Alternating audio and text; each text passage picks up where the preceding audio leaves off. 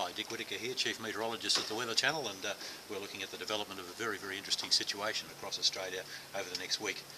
We've had all this moisture coming into Queensland and you can see all the thunderstorms that are developing there at the moment and uh, that's going to increase. We're expecting the whole of Queensland to fill in with cloud basically over the next few days and a lot of rain and thunderstorm activity coming down. We're even looking at uh, falls of uh, in excess of 200 millimetres across the week for southeastern Queensland in the coastal areas and that of course raises the issue of possible flooding so we're watching that carefully. Also some very heavy falls getting down into the mid-north coast and northern rivers area of New South Wales so uh, all that's uh, a major rain event, probably the biggest rain event we've seen for the east this summer. Then we've got a heat wave in Perth at the moment, clear skies, and we're having a whole string of days above 35 degrees in Perth, even a couple above 40.